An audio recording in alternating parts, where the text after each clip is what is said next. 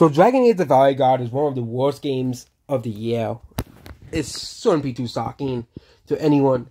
Like, does anyone actually like Dragon Age the Veilguard? Did anyone actually buy it? Did anyone actually play it? Probably not. It's gonna be a massive failure. And this is gonna be considered one of the worst games of all time, okay? Of course not on Wikipedia's list, because of course all the critics said this was a masterpiece, of course. You know, course, all the critics like, the the best game ever. A 10 out of 10. It's woke. It has trans characters in it, so 10 out of 10. And if you do not like Dragon Age the Fairy God, you are a bigot. Okay? But apparently, EA is banning people for disliking the game. Okay? I've been saying this for years and years and years. If they're gonna try to do this, they're gonna try to ban you offline for online for not liking a movie or not liking a video game because it doesn't fit the narrative that the, the media and the mainstream critics want you just believe. Okay? Okay? And basically, someone has been banned from EA Play for seven days because of so called harassment. Okay? Literally got banned from subscription service that I pay for, not I care because I don't use it, and And what did this guy do?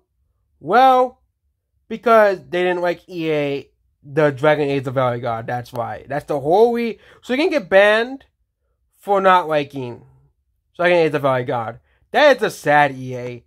Being banned for disliking a game is just so petty. Okay?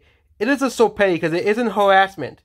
People criticizing a game, okay, is not harassment. Okay? Imagine the Brie Larson fans actually got the way and banned all the YouTubers who criticized Brie Larson's portrayal of Captain Marvel. Okay? Like, it is just absurd that there are these people that EA and all these companies are just allowed to get away with this banning people for quote unquote harassment when the quote unquote harassment was simply either saying facts or disliking a movie or a video game. Okay? It isn't review bombing to dislike a movie or a video game. It's just people just that that's posting that they don't like something. Okay, people should be allowed to dislike something.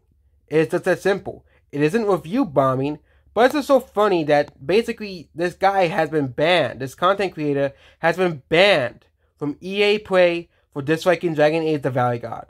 Absolutely absurd that they allowed this to happen. Okay, that EA does not care.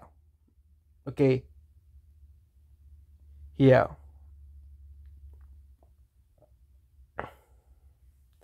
Yeah. And basically, I think this is the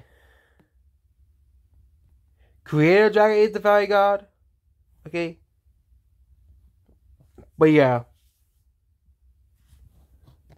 This game, Dragon Age Veilguard is gonna fail. No one, no one is buying Dragon Age Veilguard. Let's be clear here. Okay?